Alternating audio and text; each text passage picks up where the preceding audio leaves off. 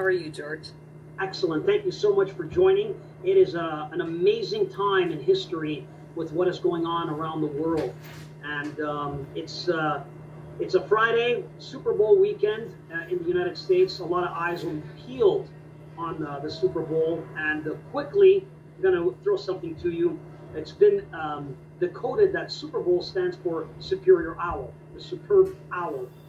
Um, has to do with, of course, the Freemasons. What are your uh, comments on that? Uh, that is one of the decodes for that.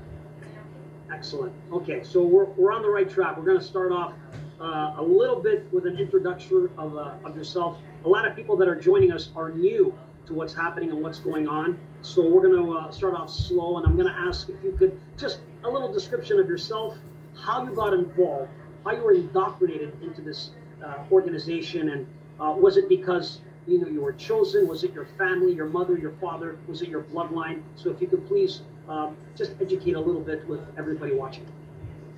Yeah, um, I'm what you consider one of the bloodline uh, generational families. So that meant that I came from several of the different bloodline families mixed together. Um, I was chosen at a very young age, uh, four and a half, and so my training began at that age.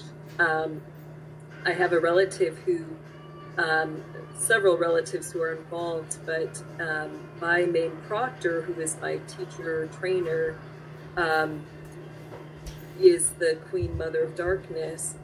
And so in that world, um, that's pretty much the top.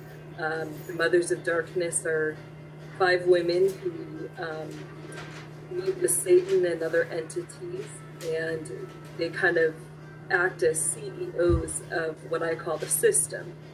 Um, you know, it's not just occult as in we've got a few groups meeting here or there, you know, sporadically throughout the U.S. or internationally.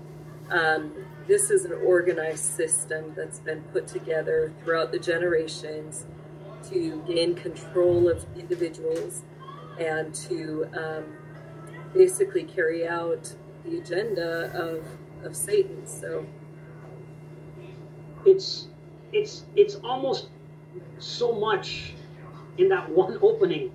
Um, only because you know what you're saying. You know you've been through it, you've done it, and it's important that everybody watching do not take what she said lightly. Listen very carefully. How she was indoctrinated, and those that she was answering to are the mothers of darkness. Um, these are very powerful people, very powerful women. They have a occultic magic